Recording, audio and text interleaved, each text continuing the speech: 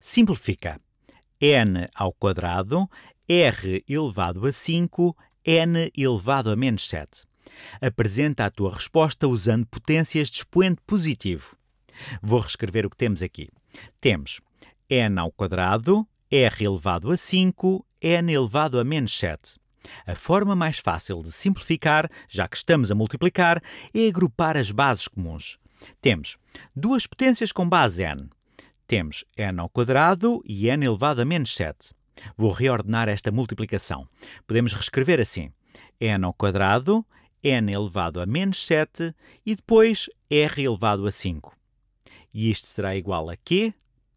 Temos n ao quadrado vezes n elevado a menos 7. Podemos adicionar estes dois poentes isto simplificado fica n elevado a 2 menos 7.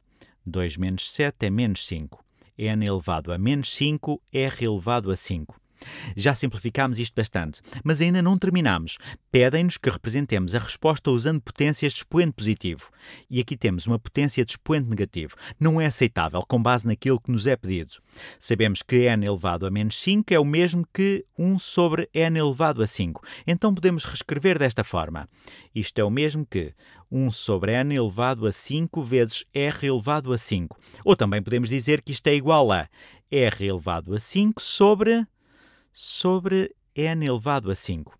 E não dá para simplificar mais. Podemos escrever isto de outra forma. Podemos dizer que é igual a r sobre n elevado a 5, uma vez que ambos os termos são elevados a 5.